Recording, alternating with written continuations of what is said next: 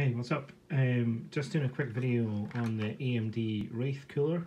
uh, I, mine's came with my Ryzen 7. Um, I couldn't find a video on this, so I thought I'd better make one. Um, so it was just on how to take it off the uh, the copper block uh, heat cooling stack thing here.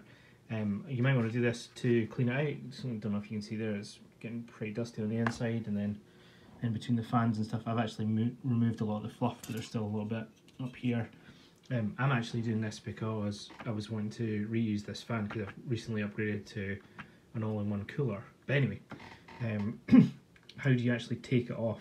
Because it took me a little bit of time to figure it out. So, um, when installed, it sits like this.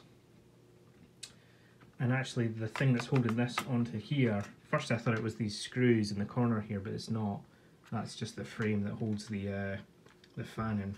It's actually it's actually these clips here, which if I can get it to focus would be great. Go. So we do that from the side here. So as you can see, it's just a little notch bit there, and it clips into this part here. So basically all I did was I took two different flatheads, wedged them in at the side here to unclip it and then just tilted it over like this. Bit of focus please. No. Go.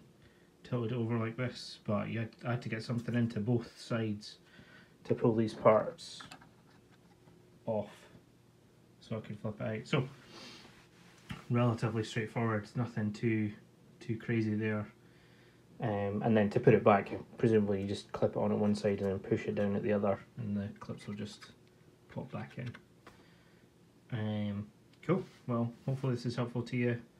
Um, yeah, I'm going to try to reuse this fan somewhere else in my case because it seems seems alright. Um, but yeah, cool. Thanks.